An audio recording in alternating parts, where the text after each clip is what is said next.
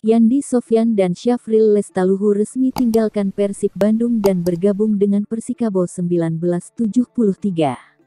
Keduanya akan menjadi asuhan Jajang Nurjaman di musim depan. Belum lama ini, kedua pemain tersebut resmi direkrut Persikabo 1973. Yandi dan Syafril diumumkan sebagai pemain Persikabo lewat unggahan di akun Instagram resmi Persikabo 1973 at official Persikabo pada Kamis tanggal 26 Mei tahun 2022.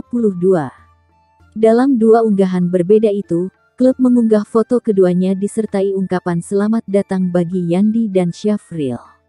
Sementara itu, Syafril mengaku senang usai resmi bergabung dengan Persikabo 1973.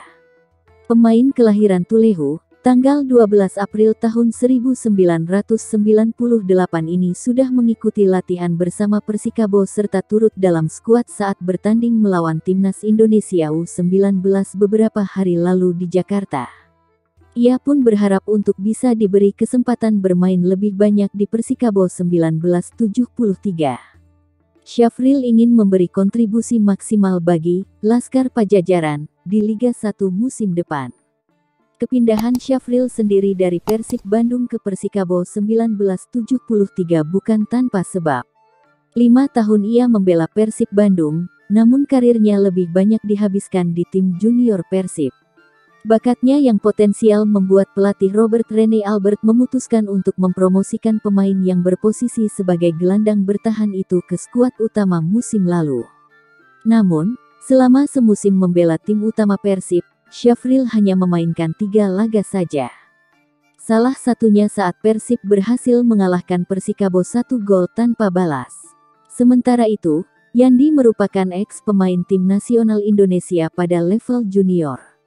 Pemain asal Garut berusia 29 tahun ini sempat berkiprah di luar negeri usai lulus dari program Deportivo Indonesia di Uruguay pada tahun 2011 silam. Yandi sempat membela CSV Sebelgia di tahun 2011 hingga 2013 serta tim reserve Brisbane Roar Australia pada tahun 2014.